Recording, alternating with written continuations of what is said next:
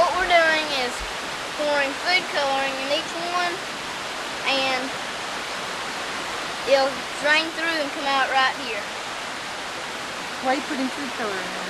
to change the color of the water.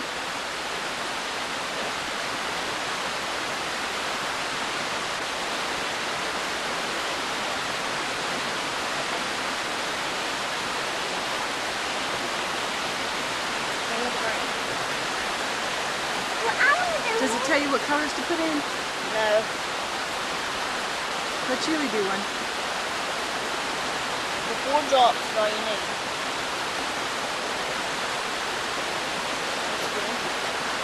Here, I let me. to do it. I want to do it. Let Okay. Julie do blue. And then move out of the way. Julie, that's enough.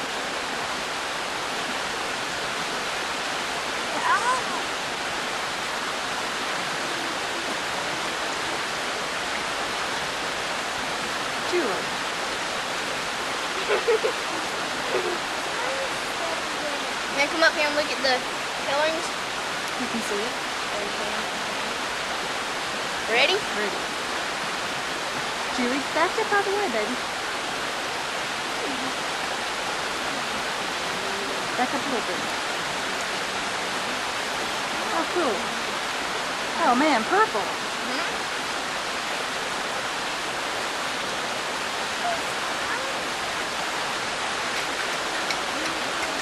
Oh, you gotta take that to school and, and show it. You're supposed to use this large bucket. Whoa! This color is cool. Julie, would you move? Thanks.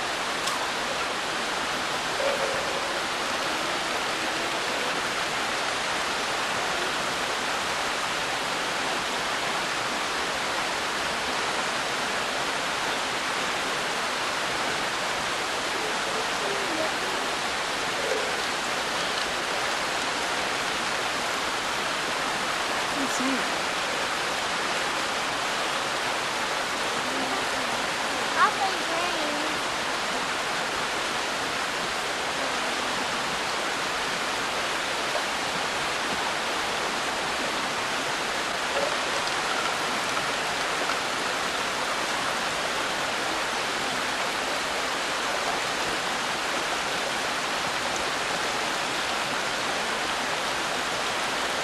What do you conclude with this experiment, Well, it mixes. Turns all colors green. And you need to fill the buckets up bigger.